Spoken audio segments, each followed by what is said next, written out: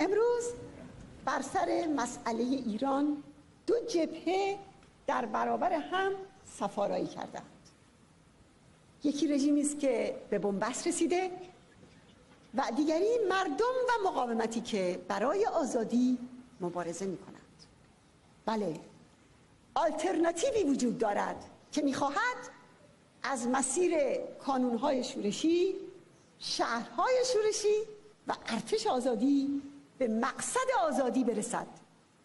این آلترناتیو قادر است یک جمهوری دموکراتیک و کسرتگرا مبتنی بر جدایی دین و دولت برابری زن و مرد و خودمختاری ملیت ها و یک ایران غیر اتمی برقرار کند.